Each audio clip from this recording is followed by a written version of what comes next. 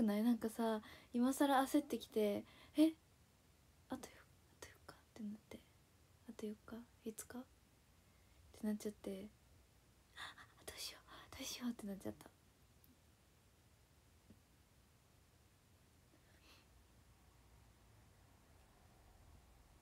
うん。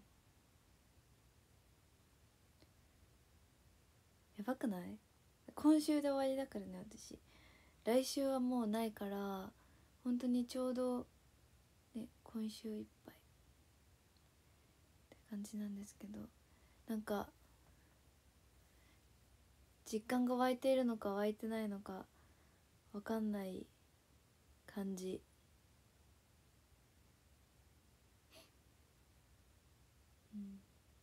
まあ、ギリギリまでそのコンサートとかやってるっていうのもあるけど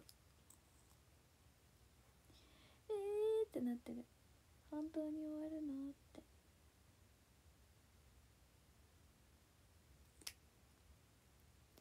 ねだってさ発表したのはさ1月でさもう春が来たね。って思います。いよいよ春だな。って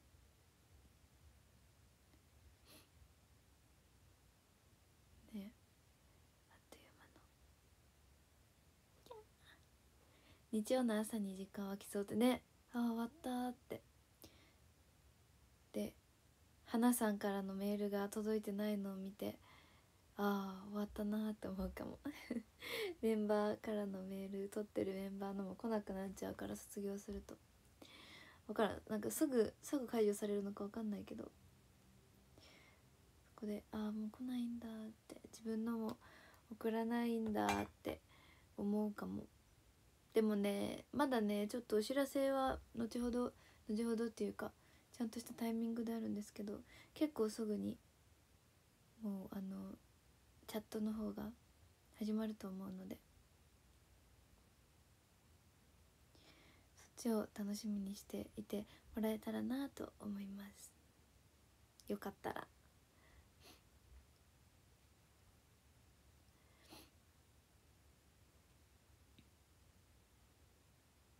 お返事もね見られるようになるのでみんなもやりやすくなるかなって思います。今はそのデザインとかをもろもろ話し合っていろいろ変えてみたりとかしてますのでお楽しみに。大体ね決まった。だからそれのさ提出物じゃないけどこういうどうこうとかがさもうバタバタしすぎて今日まで、まあ、出してもまたなんか修正が入ったりとかであやっぱりなんか全体見てやっぱりこれはこれがいいなとかなったりして結構もうバタバタ。今のチャットはコメント読めないの？そうなのよ。今のチャットはみんなからの返信は見れないんですけどなんだろうみんなの返信に対して私が返すことはできないけど私が送ったのに対してのみんなの返信は見れるっていう感じだと思う。755はねやめます。755はやめます。ごめんね。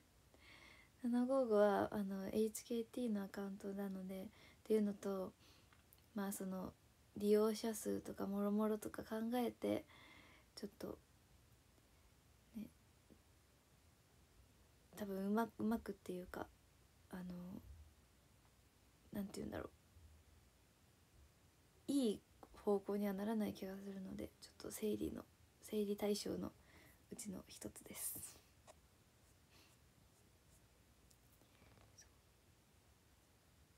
よっくん。タワーありがとうございます。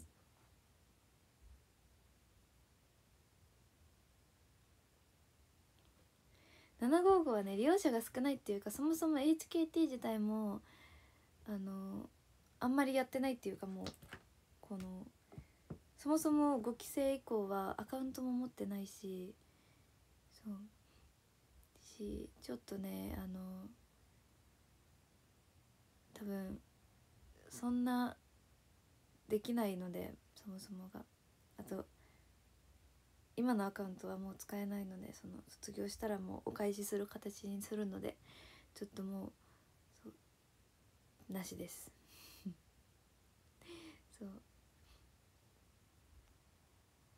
基本は消しはしないかな。そのまま残す形になるかな。そう。ちょっとなんかメリットとかで考えてるわけじゃないって言ったらそうなるけどまあちょっとまあよりもやるべきことはあるかなっていうそのそういう別のところにちゃんと力入れる対象を絞って満足度高めにしたいなって思っているところです。でもインスタとかツイッター X は残る残るっていうかそのまま続けようかなってみんな次第かな。みんな次第っていうかそのみんながどれぐらい求めてくれてるかによると思う。そう。うん。755は残すか消すかはちょっと分かんないんですけど多分残すと思います。そう。有料のはもうチャット。っていうかブースティーのサイト。だけになります。だから今みんながそのチャットを取ってくれてる人は同じところ。今は私は HKT の中の HKT48 ファミリーの中のチャットとしてやってるんですけどじゃなくて別の私のサイトとしてオープンするのでちょっとまた一ついるんですけどその手続きというか。そんな難しくないけどちょっとだけ。登録しますしませんぐらいの。続ける続けませんぐらいの感じ。それもまたそのお知らせがあるのでちゃんとそれも私がちゃんとこう言います。また。お知らせ始まりましたよって。なんかねメンバーシップサイトってさまあ今卒業生のでその登録してる人は分かると思うんですけどあの番号みたいのがあるのよ。その入った順の番号みたいな。なんかそういうのがあるのでそのサイトオープンっていうか公開タイミングとみんなが登録を開始するタイミングを分けてるのでだからその焦んなくていいみんな。その変に。なんかやばいお知らせ来た瞬間なんかしなきゃっていうよりもその何時から登録開始しますよみたいなお知らせが別にあるからそこは焦らずにちょっとちょっと遅めの時間帯に設定してるのでそれも遅めっていうか朝とかにしないようにしてるのでちょっと分かんないけど全員のお仕事のタイミングとかに合わせることはできないけどやっぱそのあんまり朝早くにしないように定してるのでお待ちしておいてください。他の卒業生と同じ感じ。枠が一個一個あるみたいな。でその中に私のチャットがあるみたいな感じかな。小田がやってるのとはねまた別なんですよね。多分小田はチャットだけを残してるんですけど私はメンバーシップ側なのでやるのは。だからあのまどかさんとかシナモンさんとかと同じかな。だからそこもなんかちょっとちょっとの差があって ちょっと難しいんですけどなんかコンテンツっていう枠が広がる。武田も同じ。そう。そうそう。小田はチャットヒロナがやってるのもチャットの方かな。だからなんかね別なのよそこは。メンバーシップがあるないがちょっとある。ゆいちゃんも一緒。小田とかひろなは多分チャットだけ残してる形かな。メンバーシップじゃなくてチャットを契約するみたいな形。で私はそれプラスちょっと値段は上がるんですけど例えばなんかオフショットとか何のって話やけど なんかその例えばいつになるか分かんないけど例えばこういうイベントをしますよって確定じゃないけどまだね全然確定じゃないけどもしその時にやりたいってなってなんかそういうのをなんか載せるとこないかなってなった時にコンテンツとしてそれを載せたオフショットみたいなその日の写真とかを載せたりとかちゃんとした写真を載せてなんだろうチャットに送る自撮りとかとはまた別のそのなんかちゃんと撮ってもらった写真とかをこう載せるとかなんかそこら辺は可能性無限大なのでそうそういうのとかも含まれます。なんかチャットだけじゃなくてそうなんかそういうその会員限定みたいな感じで見れるのも増やしたいなっていう。そう。うちの父がカメラが趣味なのでちょっと引っ張り出して家から来てねってこっちでこういうの撮りたいからって来てもらって撮ってもらおうかなと思っておりますので。そう。うちの父がカメラが趣味なもんでよかった使える人がいて。身内に 使える人がいてよかった。そう。自分でさカメラとか持っててもさ自分じゃ撮れないじゃん。なんかまあなんか無理して打ちカメみたいな。それだったらもうスマホでいいじゃんってなるからちゃんとね撮れるっていうかその撮りたがる人がいてよかった。普段はなんか花とか鳥とか撮ってるけど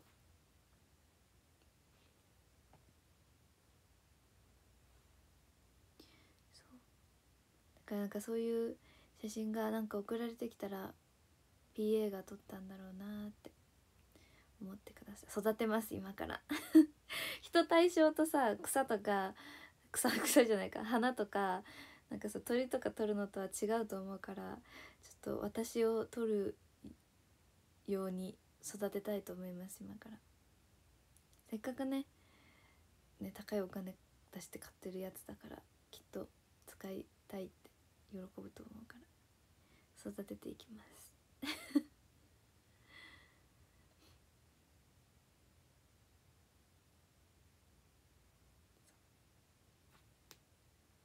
まあそんなにね頻繁には取れないけどパパも仕事あるから。まあその1ヶ月に1回とかぐらいは。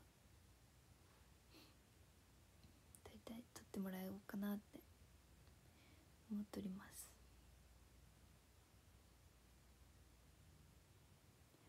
そんな感じ。だからそこがファンクラブみたいな形と思っていいといいです。なんか別にまたファンクラブみたいなのは作んないです。もうそこでやります。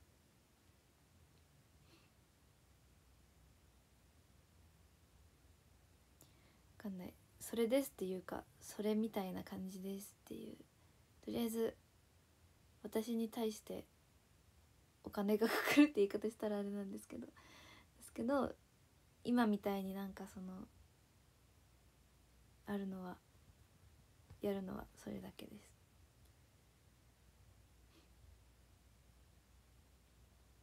ファンクラブ作らんのってだからそうそういう意味。そのなんかファンクラブって言っちゃうとさこのなんかハードル上がる部分もあるし、まあ、形式とかもろもろがなんだろう新たに始めなきゃいけなくなっちゃうからそのブースティのあのメンバーシップっていう言い方をしてるだけみたいな感じ。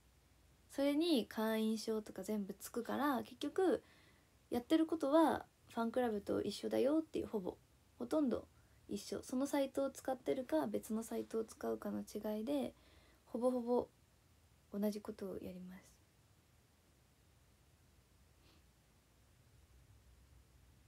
どこのサイトを使ってるかの違い。ただそのブースティーでやるファンクラブがその メンバーシップって呼ばれてるだけ。そういうことです。そう内容としては変わんないと思うファンクラブ。ファンクラブっていうかなんかあんまないよね今時。ファンクラブっていう扱い。難しいけど。オフィシャルサイトみたいな。まあでも結局言い方が違うだけで中身は全部一緒。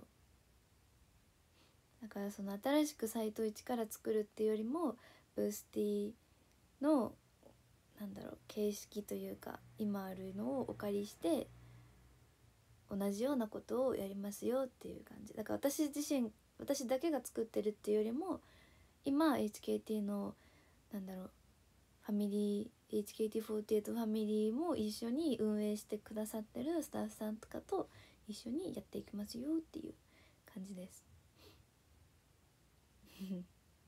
そう。だから今もそのスタッフさんとかとこういろいろやり取りしてデザインとかも決めてるみたいな感じ。だからほぼ一緒。言い方が違うだけや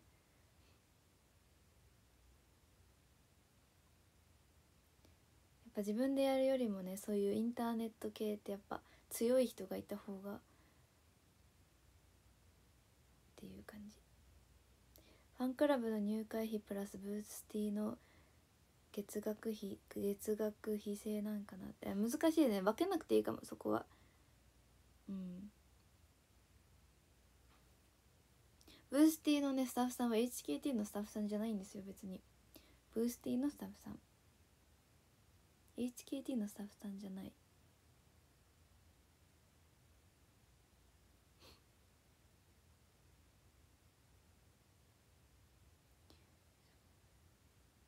全部込み込みであります。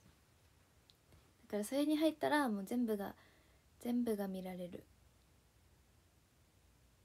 っていう感じ。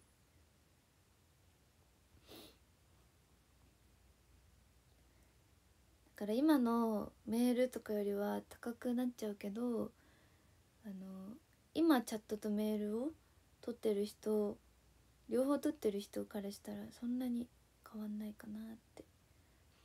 むしろなんか全部一緒になるしコンテンツも増えるのでちょっといい感じにみんなもまとめてみやすい使いやすい感じになるかなと思います。金額とかはまたそのお知らせのタイミングに出すんですけど。まあみんなも知っての通りこんな感じなんで こんな感じなんであのすごい頑張ると思いますので楽しみにしていてください。今から何しよっかなあれしよっかなこれしよっかなって思って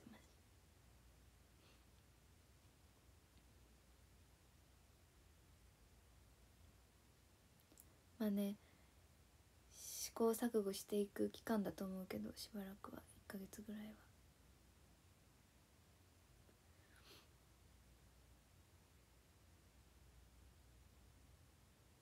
もちろん無理のない範囲で。やっていきたいと思いますので楽しみにしていてください。配信はねまだわかんない。どっちにしてもこのアカウントじゃなくなることは確かなんだけど。ちょ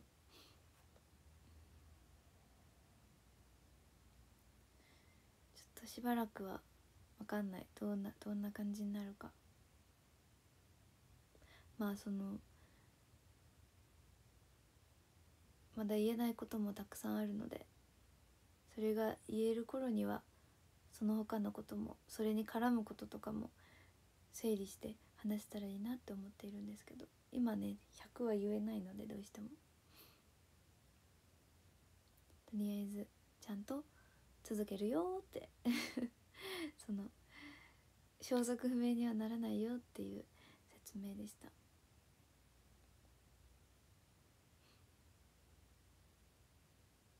うん。です。それだけ。別にそのその説明のための配信ってわけじゃないけど。まあまあ待っててねっていう感じです。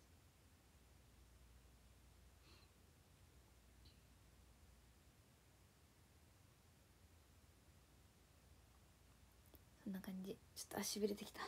変な変な角度で座ってた。と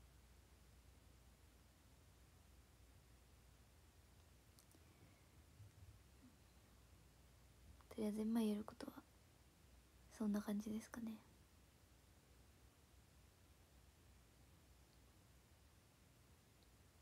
あとその PA が写真担当しますというかさせますというお知らせでした。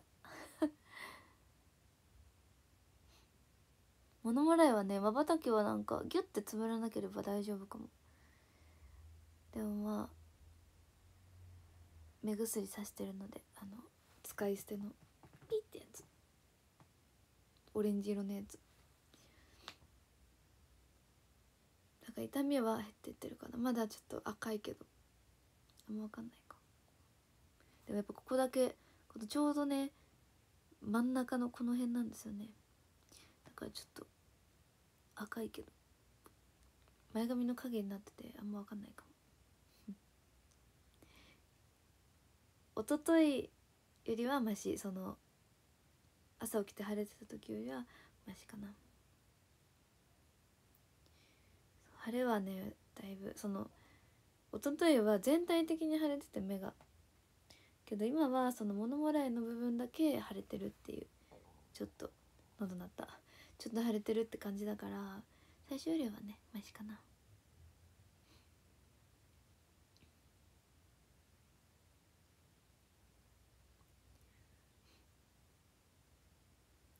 例えばプレゼントやお手紙の送付先とかはえっとね今のところお手紙とか受け取る手段は用意してなくてそう。ちょっとまだわかんない状況です。今のところはないんですけれども。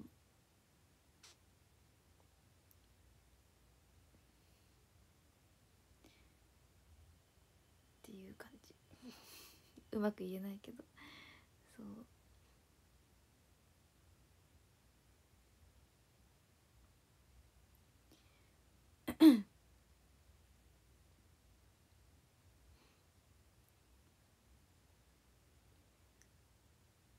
物もらいできると全てのやる気なくすけど涙袋書かなくてもねわかる。腫れるからさ涙袋がぷくって。なる。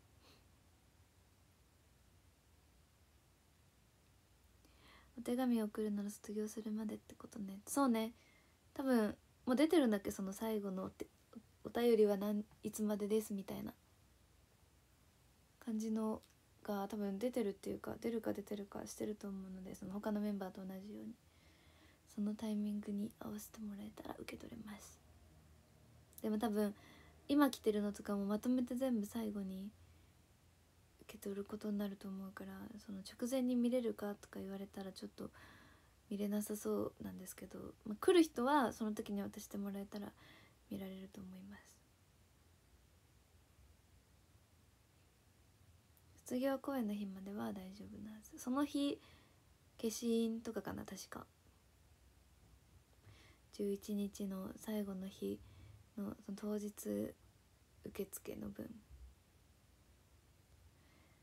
届きます私に。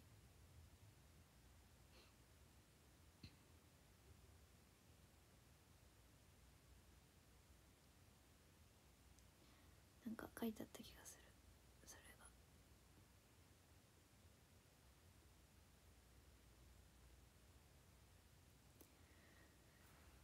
れが。そんな感じかしら。もうさもう短すぎてさもうどうしようどうしようってなってる。卒業記念グッズもあります。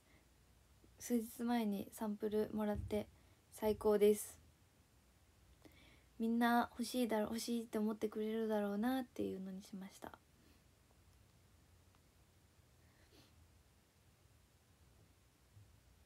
少し遅れても届けてくれるでしょって。いや遅れたらもうダメです。戻されます。きっと。もう前もってその日って言ってるので。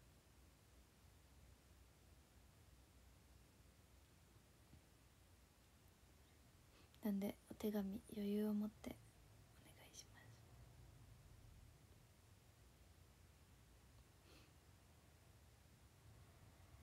卒業グッズはね多分最後の日にに出ると思う。あとね一つね生写真がね1個出るんですけど結構恥ずかしいので最後の生写がそれかっていう感じなんですけど。いつ出るんだろう。でもすぐ出るよね。あと数日だから。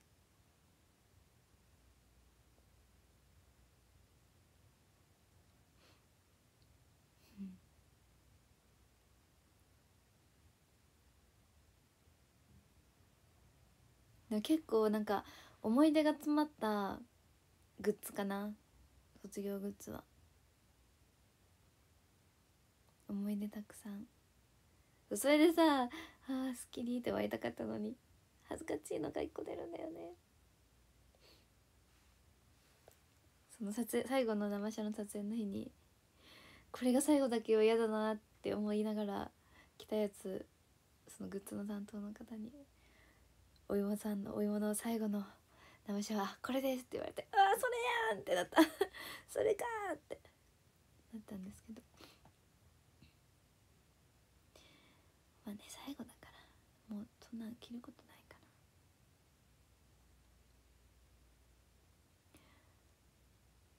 卒業公演のドレスの写真発売は後日なるまあドレスがどうこうとかはまあ置いておいてその卒業のタイミングで撮った卒業公演のタイミングで撮ったのはまた後日に発売されると思います。その日に撮ったやつ。あの一人のやつでしょ？毎回売られてる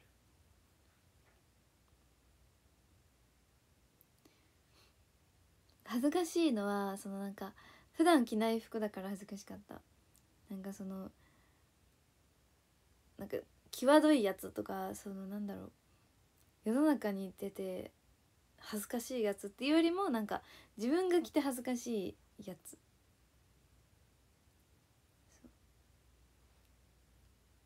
そうだった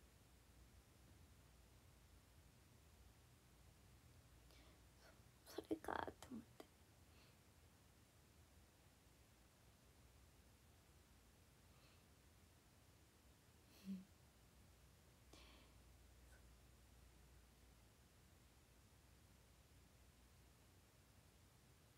ドキドキみんな恥ずかしいってわけではないのねって。まあ人によると思う。うん。人によるけど私は最後がそれって言われたらちょっと恥ずかしいなっていう感じ。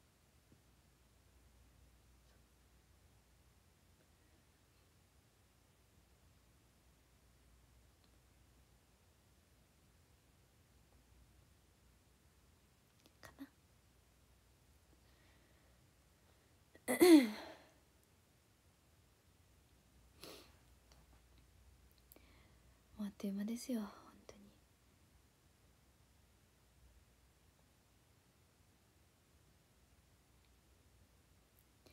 なんかモモンガの目があった今目の前の。8年がさこんなにあっという間に最後終わるんだって思ったらなんかすごい変な感じ。うん。でもさいつかはさ来るわけじゃんこのタイミングが。でさ多分どんだけ発表からそのなんだろう卒業の日まで期間があったとしても多分すごいこのうわもうあっという間やんって感覚は変わんないだろうなって思うし結局この数日間って絶対にやばいやばいやばいってなると思うし。そう。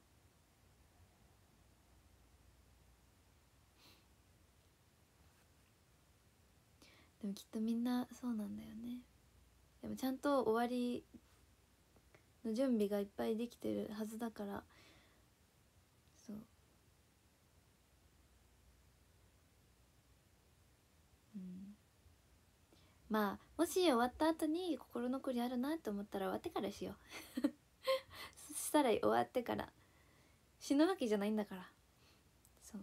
何もできなくなるわけじゃないんだから。思うけどめっちゃなんか何もしてない時間がそわそわする。やんなきゃいけないことあるのにそっちのけでなんか他になんかと思っちゃ。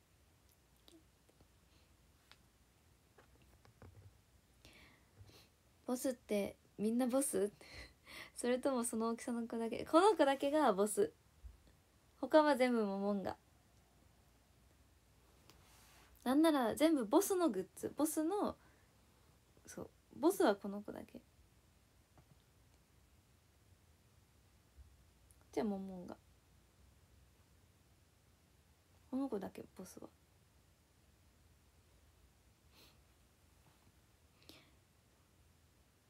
このねそれかぶってる子だけ。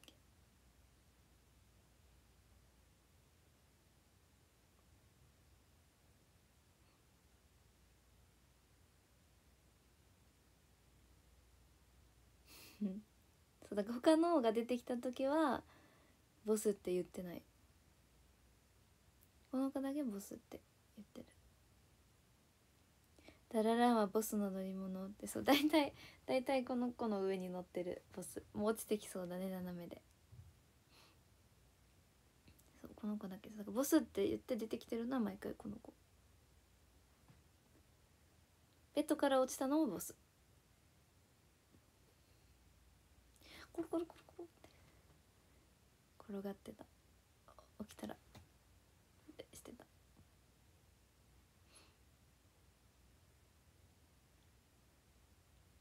この子はモモンガタラランモモンガボス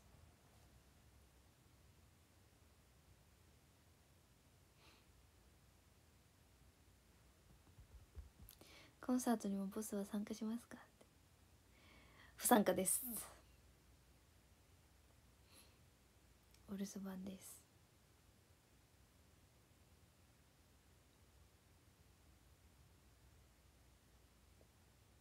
4期の天使の尻尾裏話ありますか？ってえ全然ない。全然ないって言い方したらあれだけど。まあ2人はやったことあるしね。なんか普通に前日のドンタクの時に振りを合わせてとりあえず3人3人が合っていれば正解。だからもう細かいところとかさ人によってなんかやっぱちょっと違ったりとかするけどいろんな人がやってるから。そう。なんだけどとりあえず3人が揃ってたら正解だからって言って3人で合わせて。っていう感じです、まあ、そもそも2人の色とかはもう武田の時にやったのに合わせてそう。まあ一からね覚えるの大変だから。今忙しいしねコンサートで。だからもうやったことあるところでっていう感じであの色です。まあ2人それぞれねピンクよりマッチの方が似合ってると思うから。っていう。空いたピンクをやっただけです私が。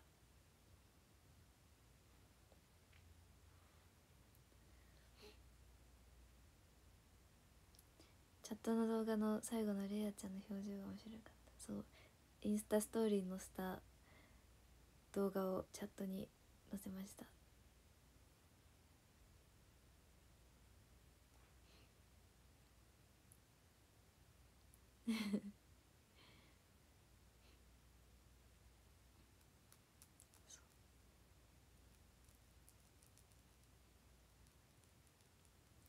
まあ、ウィンブルドンとねちょっと色は逆なんですけど2人は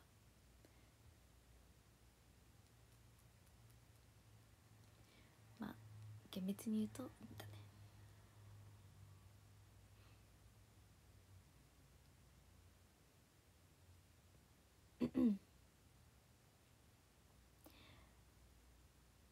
ねねちゃんもかなりハマってるやんって。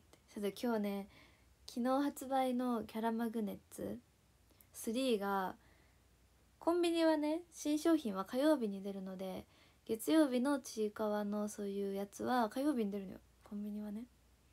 から今日朝コンビニ行った時に2つ買っていってねねちゃんと開封タイムをしました。で1個目でうさぎが出て「はってなって。で2個目でねねちゃんが先に見て「はってなって。あ絶対モモンガやんって思った。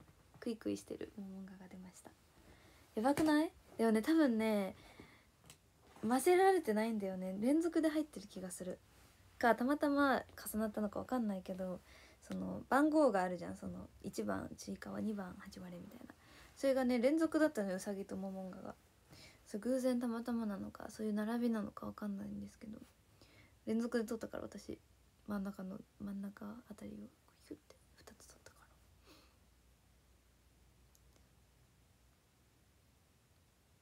そういう情報どこで仕入れるん？って。なんかねもう見すぎて流れてくる。あのなんだっけツイッターで関連みたいな感じで新商品がめっちゃ流れてくる。うん。うさぎはねねちゃんにあげました。最高の引きでした。今日のちいかわシーサー可愛かったってね。サタパンビン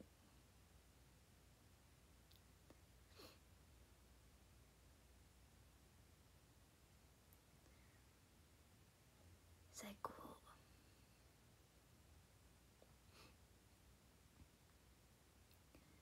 コラボがいっぱいあるからそういう新商品がいっぱいあるから大変だけど。ちいかわレストラン当たったから今度行ってくるだと。いいな。私さあのさちいかわ飯店のさパンダのさモモンが買いたいんだよね。でもさ東京行くことなさすぎるからあの全然あの抽選っていうかその先着チャレンジもできてない。応募すらできてない。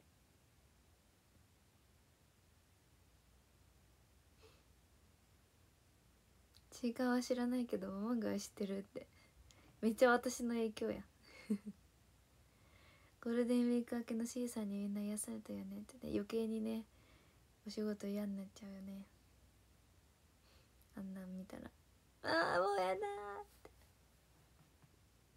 京都のもね行けけてないっていうかモモンガのグッズがそもそもあんまりないからちょっとねなんかタイミングがっていう感じ。あったらいけるかもしれないけどなかなかないじゃん京都に用事なんて。卒業旅行もさ私そんなにさ現実現実っていうかリアルなんていうこれ？プライベートか。で友達がいるわけじゃないのでいるけどなんかその仕事のこととか考えたらやっぱ違いすぎるからこう生活リズムっていうか休みのタイミングとかも違いすぎるからなかなかねそう。でもこの間最後のパジャドラの日に見に来てくれた2人。友達が2人。友達いたんだと思われそうだけどいるっちゃいる。だけどなかなかタイミング合わないっていうか多分どっちも気使ってると思う。私もだし向こうもだし。だからねなかなかね会う機会ないんですけどたまに仕事終わりとかにお互いのたまたま会ったらちょっとご飯行ったりとかはするけど。別の子。なんかちょいちょいいるのよ。ちょいちょい。本当にちょいちょい、HKT に入ってからできた友達とかはほとんどいないんですけどあの塩子さんぐらいしかいないんですけど。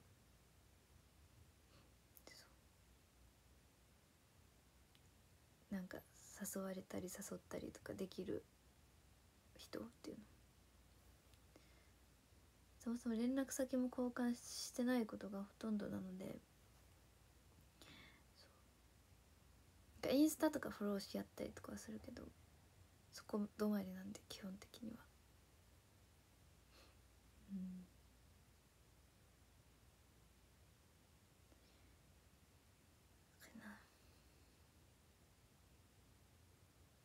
でな。るとやっぱメンバーばっかになっちゃうんだよね。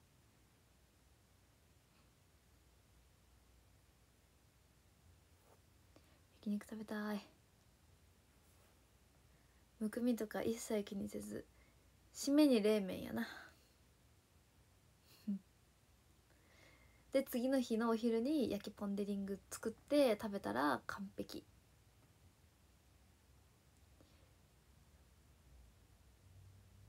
焼きポン・デ・リングっていうのは最近 SNS で流行ってるらしくて焼きポン・デ・リングあるじゃん普通の味噌のポン・デ・リングをフライパンで焼くのよ両面カリカリになるまで。で焼いてなんかその砂糖がさ溶けて固まってる状態なのだから。だから普段のポン・デ・リングよりカリカリになりますよみたいなのが今流行ってて。はや流行っててとか流行ってるらしくてそれをやってみたいなって思って私もそうってだけ溶けてドロドロになって失敗した。やばい。私もそうなる未来が見える。そうそれらしいあるらしいからやってみたいなと思って。で私はポン・デ黒糖の方が好きだからそうちょっとだったらポン・デ黒糖食べたいなっていう気持ちもあるんですけど。あれはねみんな買ってきて作ってるだけ。そのなんか売ってるわけじゃない。アイスのっけたらさらに美味しそう。確かに。美味しそう。中はねもちもちだと思う。中身はまんまで。外がカリカリを増す。カリカリマシマシになるみたいな。分かんないけど。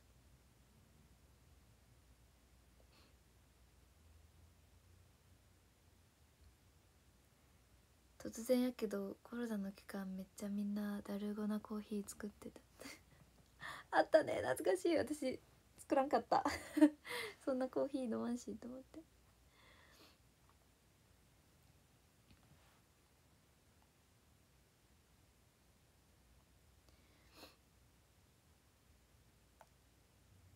来月しおこさんの舞台見に行く予定です。いや行きたかったんだけどあれだよね。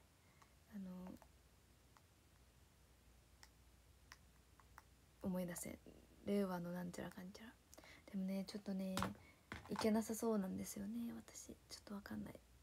予定次第。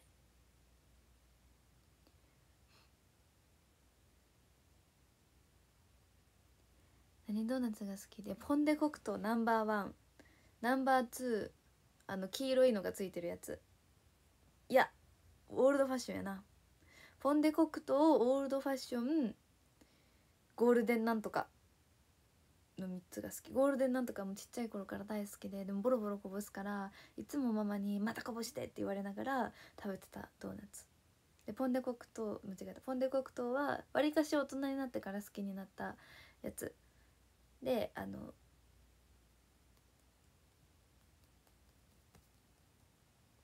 オールドファッションは普通に好き。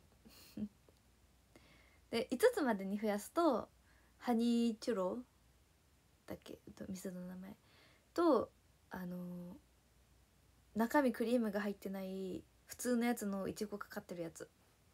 いちごチョコがかかってるやつかな？5つって言われたら。その普通の普通の両面焼いたみたいなドーナツののいちごチョコがかかってるやつ。中身は大丈夫。あのあんまり甘いの胃が得意じゃないから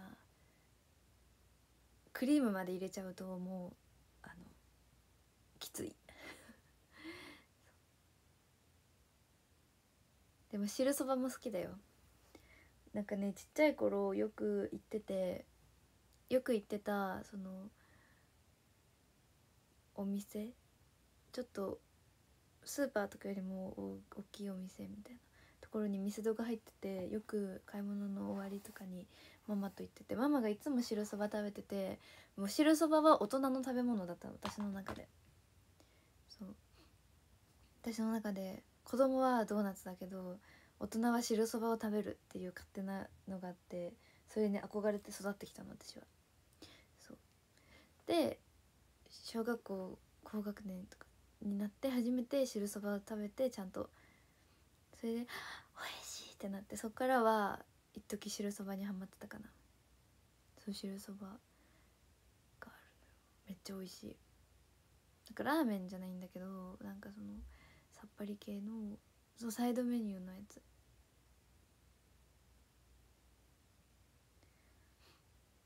クリーム苦手な割には甘いもの食べるよね。そうねなんか物によるかも。なんか全部甘いものいけるわけじゃないけど本当に月に1回あるかないかぐらいであ甘いの食べたいなって。でもチョコじゃないことが多いかな。でも食べるとしたらいちごチョコが好き、うん、山崎パンの4つ入りドーナツも私も好き。あれでしょ？茶色のと普通のが2種類ずつ2個ずつ入ってるやつ。めっちゃ食べてた。朝ごはんに小学校行く前に。いつもそれがいいって言って。食べてた。やっぱ小学生とかのね朝ごはんはねいかに子供が進んで食べるかやからね。あんまりなんかお米とか食べたがらんかった気がする小学校の時って。パンとかそういうドーナツとかが食べたかったが近況でした。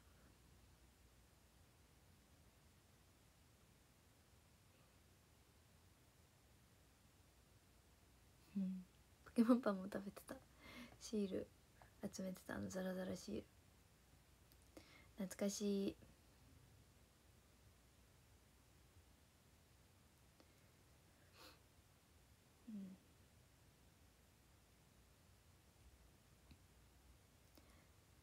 駄菓子屋で売ってるミニドーナツも美味しいよ。ヤングドーナツ。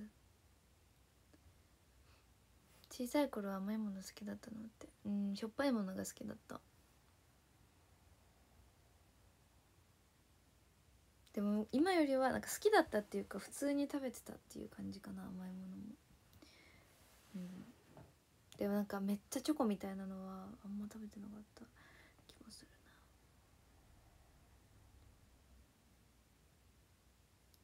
よりもスナック菓子。あのバーベキュー味のやつとかあみあみみたいなやつとか好きだったかも。なんかねこんぐらいのちっちゃい袋のやつあるじゃん。大きいやつじゃなくてあの何個かつながってるやつでもなくてその間ぐらいのサイズのやつ。こんぐらいの。にちっちゃいカンカンのジュースをセットで毎日おやつとして食べてた。パパもさママもさ働いてるから帰ってきたらばあちゃんだけで、まあ、じいちゃんもいたり仕事でいたりなかったりだったけど大体ばあちゃんは絶対いてそのばあちゃんがその日のおやつって言って1袋こんぐらいのやつとカンカン1個を出すっていうシステムだった。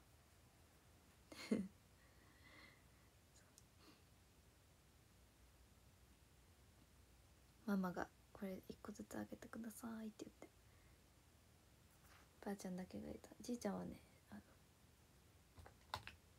仕事バラバラだったから毎日。パパとママと同じ感じで。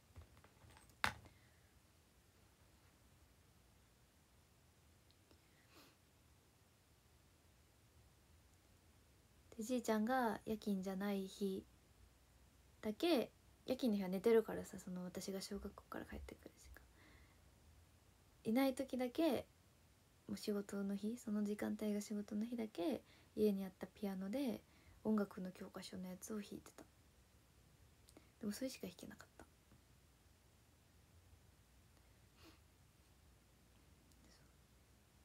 だから弾けるって言わない。押してるだけ指で。でももう誰も弾かないから。もうあのないです家には。あのパパのお姉さんがピアノやってた。からピアノがあっただけで誰も弾けなかったから私も。経験者でも何でもないドレミだったから。楽譜はあったのだからそのおばさんがやってたから。でもちろん読めるわけもなく放置。たら気づいたらもうなくなってた。まあこれはもう15年前ぐらいの話ですけど。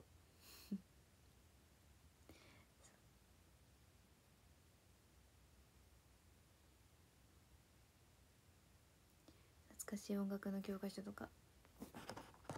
一番最後のページに絶対同じ歌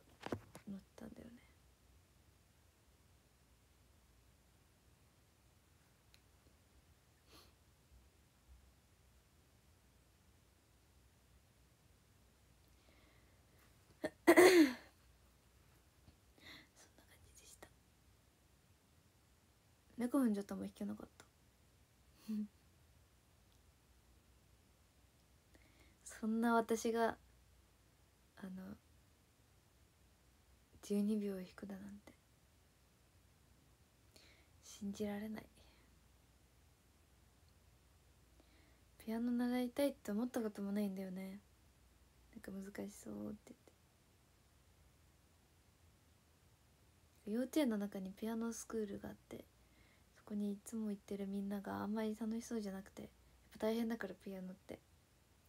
だから私はいやって思ってた。でもねせっかく家にピアノあるんだからやればよかったのにね。だってさピアノ習ってる子がみんながみんな家にさちゃんとしたピアノがあるわけじゃないじゃん、まあ、ちゃんとしたって言ってもなんかそのめっちゃごついやつとかじゃないけどまあなんかそのキーボードとかじゃないちゃんとあの足踏むのもあるやつ。足踏むのもあるやつがあったからねせっかくならやっておけばよかったのにって今思うけど多分その時家にあるから習ったらとか言われても絶対嫌って言ってたと思う。だって家で教えてくれる人がいるわけでもないし誰もできないから。そのお姉さんはもうあの結婚していなかったので。エレクトーンじゃない普通のピアノ。本当に普通のピアノ。なんか四角い上に四角いピアノ足踏むとこちゃんとあって普通の一列のやつ、うん、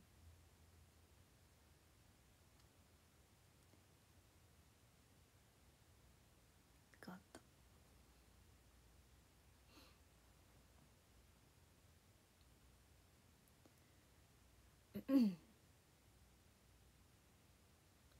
学校にありがちなそう確かに音楽室に1個あるやつ。ああいう感じのやつだったと思う。あ動物の森に出てくるやつ。アップライトのピアノやねってやつなんかな。アップライト型っていうんだ。知らんかった。とりあえずなんか上に大きいやつ。こういう音楽室その中高の音楽室にあるこういう三角形みたいなやつじゃなくて上に上にあるやつ。だった。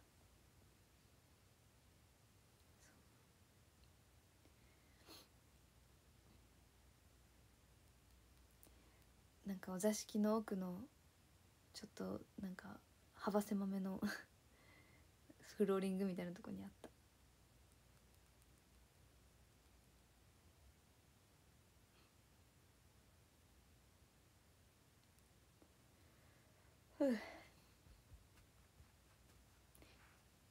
じいちゃんのゴルフ道具ゴルフバッグと並んでた。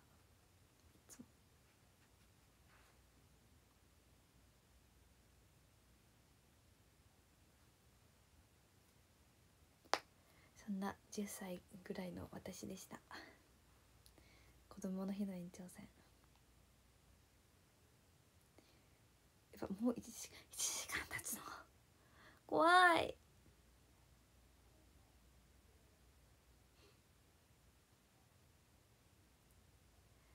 明日はもう明日もリハーサルなのでもう今日のうちに荷造りをして。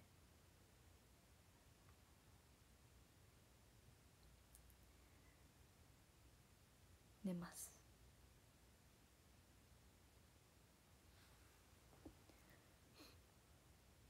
まだ終わってない。めっちゃ途中。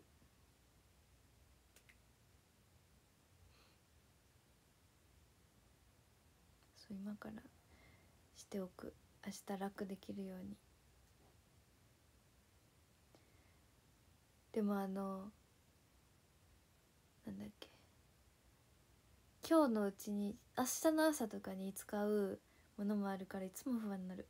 でもちゃんとメモして明日の朝これ入れるっていうのやってるんだけど。でも明日は別にそんな早くないのでまあ余裕あるからきっと大丈夫かな。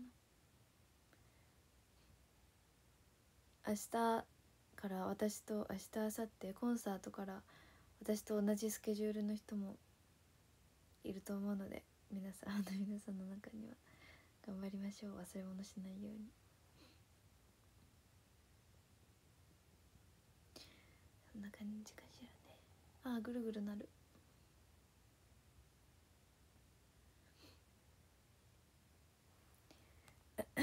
天気悪そう？東京が。でも卒業公演の日の福岡の天気は曇り時々晴れ。っぽいです晴れ時々曇り？左側にある天気の方が先。晴れ時々曇り。晴れのち曇り。うん。でも雨は降らなさそう。っ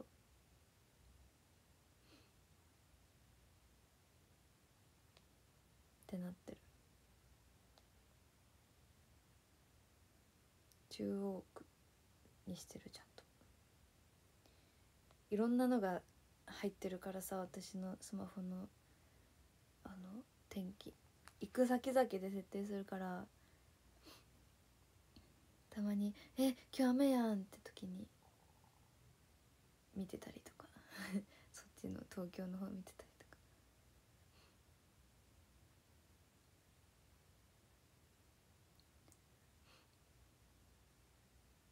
小山ちゃんは傘を壊してるイメージ。そんな壊したことないよ。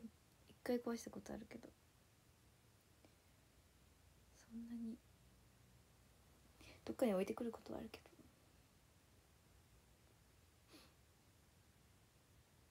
一回その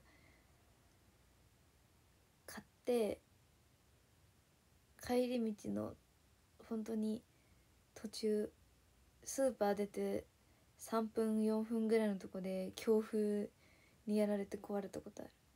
もう嫌だ。なんで？ってなった。周り誰も壊れてないのに私だけ。ってなりましたあの時。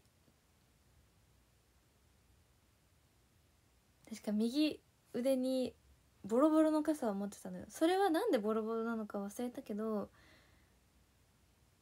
なんかずっと使ってたか。なんかのタイミングでボロボロなのか誰かがボロボロの傘を置いていったのか。わかんないけどとりあえずボロボロの傘しかなくてそれを持ってってたんだけどあまりにも汚くてそう。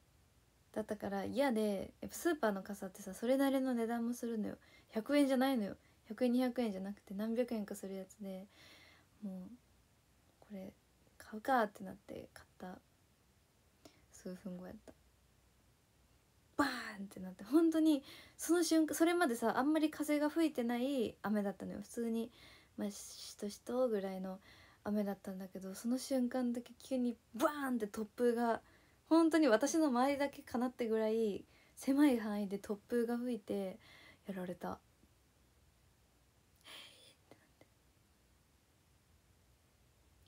でさ私がなんか歩いてた道には全然人いなくて向かいの道道挟んで向こうの道とか同じ道だけどちょっと向こうとかには人がいたんだけどみんななん何もなってなかったのに私だけ。そう。ゴミ持って帰っただけやった。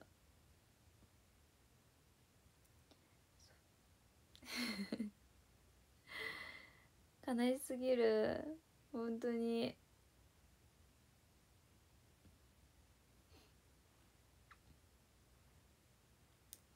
ああ今思い出すと。でもねその傘は結局はなんか自分で処分するのめんどくさくて PA に押し付けて捨ててもらった気がする。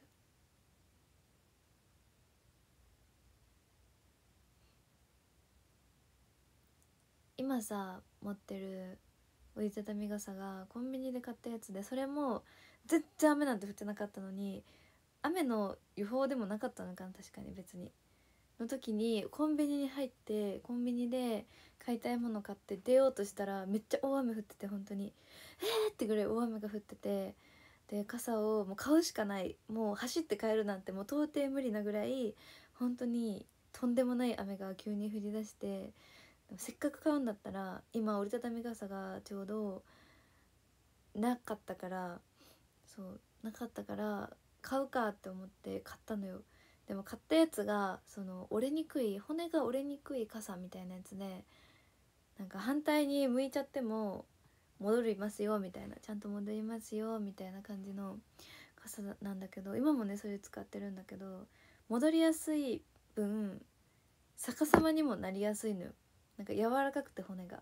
すぐ戻るし折れたりもしないけどその一回反対向いちゃうと壊れちゃうような傘よりも反対向きやすくてちょっと。そう。だから戻りやすいんだと思うんだけど周りが別にそんなにねあの大丈夫な時でもなんか 一人だけさひっくり返りそうなのをさこう一生懸命こうやってしてるみたいな状況になるからちょっと恥ずかしいんだよね。ちゃんとさ広さ大きさもあってすごいサイズ的にもすごい持ち運びやすいんだけどしちゃんと戻るし折れたりもしないんだけどちょっとね逆さまになりやすくて。うん。一人だけめっちゃ必死みたいな。でビニール傘が好きなんだよね本当は。前が見えるからよく。折りたたみ傘もなんか布系の黒のやつなんだけど。そう。なんだけど前が見えないからさ。やっぱ折りたたみじゃなくてあのビニール傘がいいなと思う。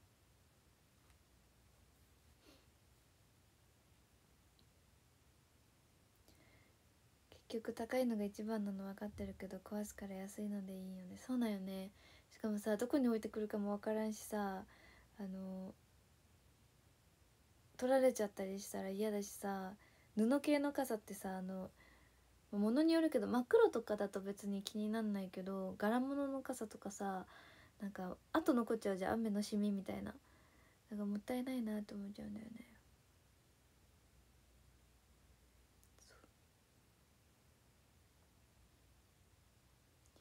ちいかわのね傘は売ってるんですけどさすがにちょっと恥ずかしいかな。さすがにちょっと。他にも門が身につけすぎてるからちょっと恥ずかしいか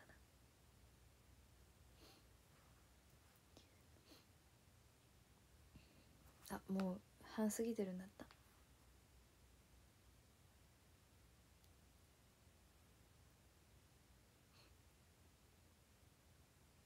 前が見えないって刺す位置が低いからかなって。えっとねこう斜めにかけちゃうと前からの雨で足元濡れちゃうからスカートとか。だからもうこう刺すのよ。こうまっすぐ。まっすぐ刺すからかかるのよどうしてもこの辺に。大きい傘でさあんま濡れないように大きい傘使ってるからこうちょうどこの辺に来るんだよねまっすぐ持ったら。こう持ってもさ上の方に持っても入ってくるのがおなんかいっぱいになっちゃうからこの辺でまっすぐ持ってると。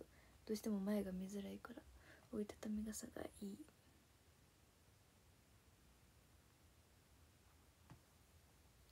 この前の目撃者公演の時に新しい傘買ったのに使わずに劇場に忘れた。え代わりに使ってもいいそれじゃ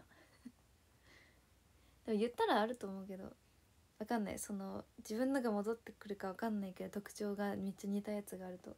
でも大体よく言ってるスタッフさんが傘の忘れ物がどうのこうのめっちゃ晴れてるからみんな忘れて帰ってるって。言ってたから言ったらあると思う。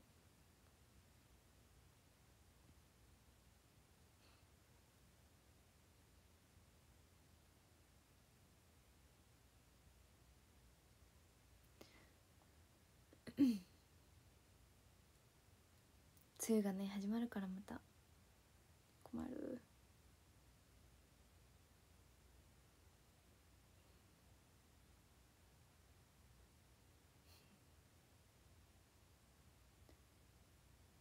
座席番号書いて貼っつけるし残ってそうやけど。あそうなんだ。じゃあ絶対残ってるよ。何番か言ってくれたら私が持って帰るけど。って感じ。それかもうメンバーが傘忘れた時用に使ってくださいって。あさって忘れるよね。今年の春が梅雨みたいやったわかる。今年めっちゃめっちゃ雨多い。本当に。ああまた雨かってめっちゃ思ってるもん。でまた梅雨でしょ？困った。みんな傘忘れてる劇場に。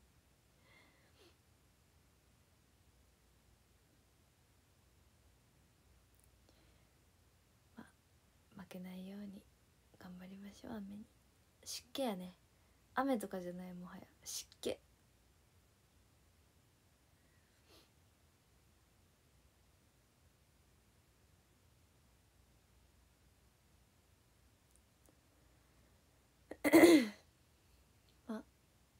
大雨じゃなければいいよ。卒業公演の日はお願いします。雨降らないように。できるだけ湿気が少ないように。そろそろ終わりましょうかね。ボス。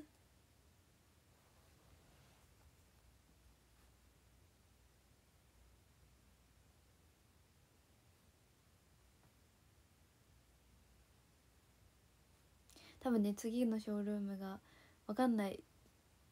いつできるか分かんないけど最後のショールでもね卒業公演の日はできないと思うから分かんない。終わり時間とかが全く読めないからできるって断言できないからうん前日の夜とかかな。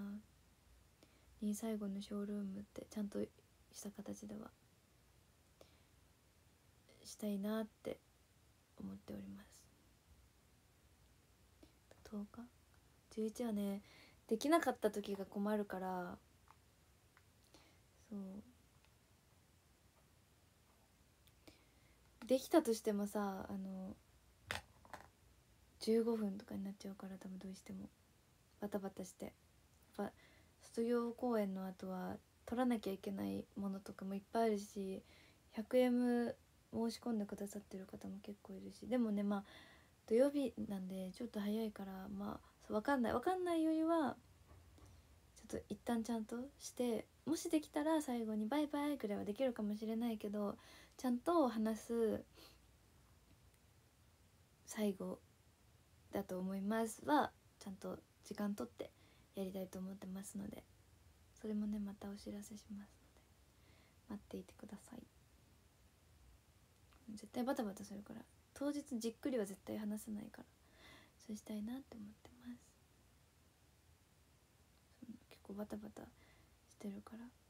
壁紙外したりとかね。全部終わらせての配信になっちゃうからどうしても。あとメール送ったりとか。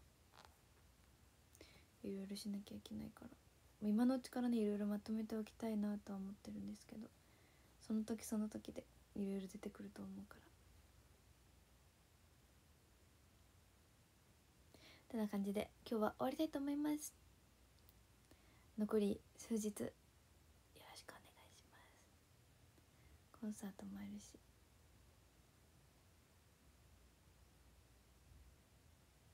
笑ってます。それでは終わりたいと思います。See you again また来て。Again バイバイ。残り数日。